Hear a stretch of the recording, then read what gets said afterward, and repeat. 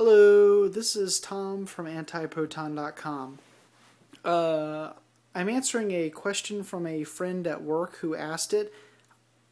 I don't know if this is going to be enough time, just a few minutes to explain this. It's kind of a complicated question. He wanted to know how did matter in the universe kind of like appear? You know, where, where did it come from?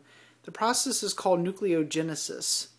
Well, there's actually a bunch of different types of genesis, but well, we'll stick with nucleogenesis. That's good enough. That that that that, that would that would explain where atoms came from per, pretty much. Um, to put this short and sweet and to the point, you might consider taking all matter in the universe and dividing it up in two different sets.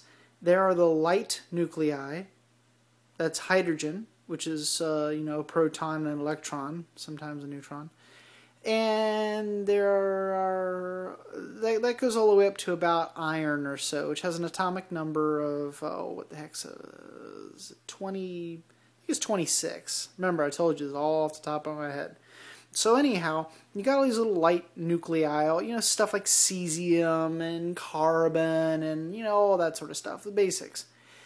And then you have heavier things things that are above iron. You get all the way up to like uh, uranium and plutonium and americonium and blah blah blah. All these humongous atoms that can have hundreds of neutrons and protons, big big big big big things. I'll go into depth later about what an atom is and how much stuff is in an atom. So I kind of maybe I'm jumping the gun here. You might want to already know what an atom is, but eh, it's not too complicated. All you need to know is that it's a, a, fundamental building block of things, and it's made of a proton and, and, an electron, and sometimes mostly a neutron.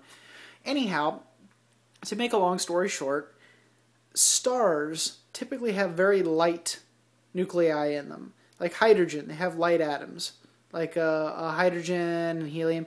And, and, and to give you an example, when hydrogen is fused together under incredibly high amounts of energy, it produces helium and a couple extra neutrons that fly off, carrying energy with them. To make these atoms stick together to make bigger atoms, what you're doing is you're you're squeezing them so so tightly together with so much pressure that they can overcome the repulsive force of their electrons, because electrons that float around the atoms kind of like keep them apart. See what I mean? So you got to get past that. Think about two magnets. If you put the negative sides together, they repel each other. Well, you got to overcome that. So you use heat. That's how fusion works. It's called fusion. You fuse two things together, you get something bigger. Uh, hel- uh, helium and helium can combine to get uh, create. I, I think cesium is maybe next off the top of my head. But anyhow, so stars will start making these things. They produce larger and larger atoms, but after a while, it starts requiring more and more energy to do this.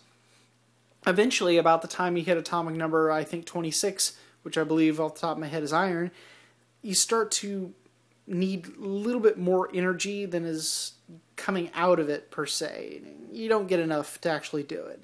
So the point of the matter is, after about iron or so, a star is no longer able to make things like that. It blows up or, or becomes a red dwarf or whatever. The point is, uh, all that, all, all of that, uh, uh, all of those particles and things, all those atoms are, are blasted out and they get lost out in the universe. And they make the water that you see on Earth, you know, and uh, oxygen and all that sort of thing. So th- that's actually not terribly complicated to understand. But here's a little bit har- uh, harder of a question for you: How does uranium exist? Where does plutonium come from? Well, plutonium comes from neptunium 239 and some protons and neutrons. But anyway, um, the heavy stuff exists as a result of one of three possible uh, uh, uh creations. The first one is a supernova.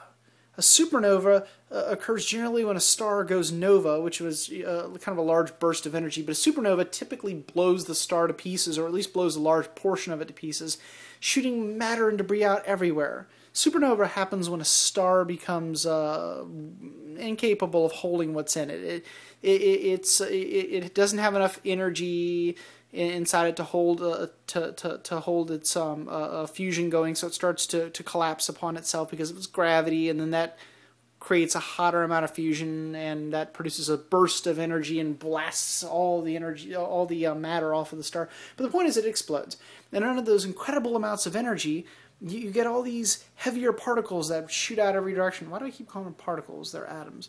Anyway, the point is, all these heavy atoms, and well, yeah, particles too, they all fly out and and you, you, you occasionally will get some heavier metals and materials out of that.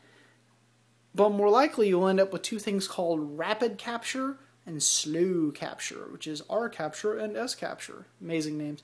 Anyway, rapid capture and R capture are, slow capture.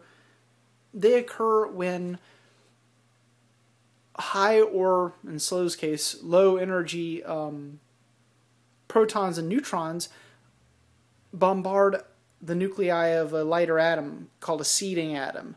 And what happens is you have this lower energy, lower order, lower size, whatever atom, a, little tiny thing like a sodium is a good example, and a neutron comes flying in or a proton smacks right into it and makes it larger. I mean, it's pretty much that simple without getting into the complicated uh, explanation of probability densities and how it's actually able to trickle up through the um, into the atom during the weak nuclear effect.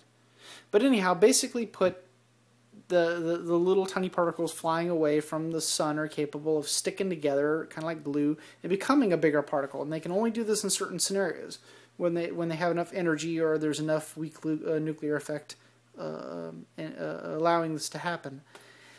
Well, this is like the short answer. I know this is sort of weak. But my, my site divides everything up into pretty much uh, three categories.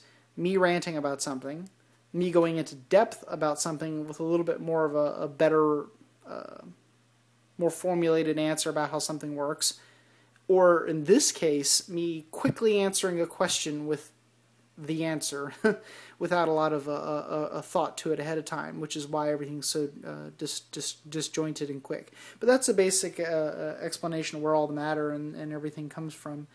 Well, not matter, but atoms. I should probably put out another video that explains how matter exists, not just how complex matter, such as atoms and so on, occur. But anyhow, um, to anybody out there who heard this and wants to comment about the fact that I'm a little bit weak on some of the things I've explained about, I did not get into hadrons, baryosynthesis, or anything like that because, um, well, that might be beyond the scope of the answer to my question to my friend. And as for my friend, that's the answer to your question. Ask another one if you like. I love questions. All right, well, bye bye.